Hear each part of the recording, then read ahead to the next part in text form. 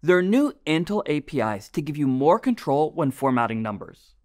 There's an origin trial for the new pop-up API, making it easy to surface critical content to the user. There are a handful of CSS improvements, and there's plenty more. Including me. I'm Pete LePage. And I'm Adriana Jara.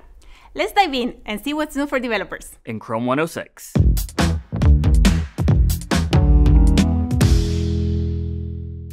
The Intl APIs are super helpful for displaying content in a localized format. Like other Intl APIs, they shift the burden to the system so that you don't need to ship or maintain complex localization code for every single user. It knows exactly where the currency symbol goes, how to format dates and times, or compile a list. Chrome 106 adds a slew of new number formatting functionality. Let's say you need to display a price range. Format Range has you covered. Create a new number format object, provide the style, how many digits you want to show, and a few other options.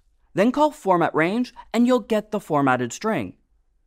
Want to round a number to the nearest increment of 5 with an accuracy of two decimal places? No problem.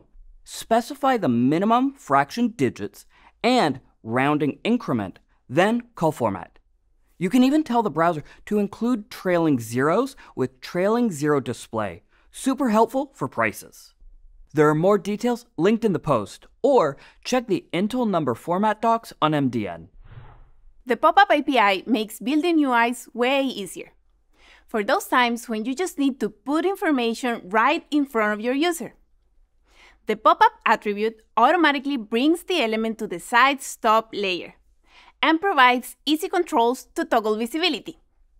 No more worrying about positioning, stacking elements, focus, or keyboard interactions for you. Best of all, it requires zero JavaScript. With only this snippet, the API takes care of rendering the element on top of all other content and handles user input and focus management. By default, users can close the pop-up with gestures like the escape key or clicking on other elements and developers have full control over the style, positioning, and size of the top layer, but also the flexibility to modify the default behaviors using only CSS and HTML. Check out the article in the description for more examples and API options. Sign up for the Origin trial to easily give your users timely information. Let us know what you think. There are two new CSS features that improve interop and hopefully make your life a little easier. CSS Grid now supports interpolation for grid template columns and grid template rows.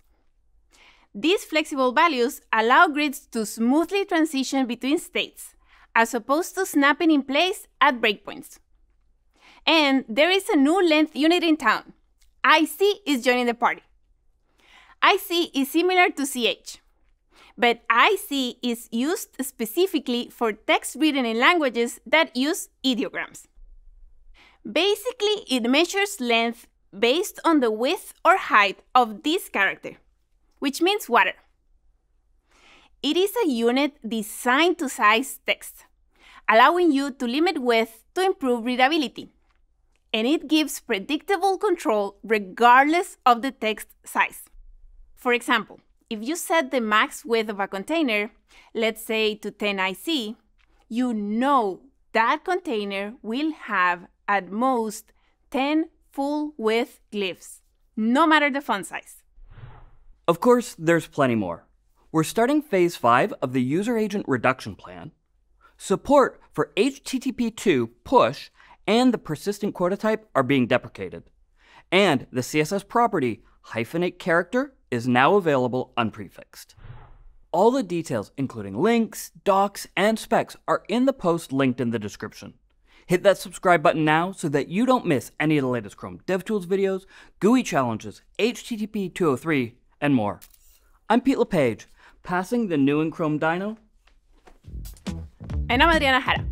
And as soon as Chrome 107 is released, I'll be right here to tell you what's new in Chrome.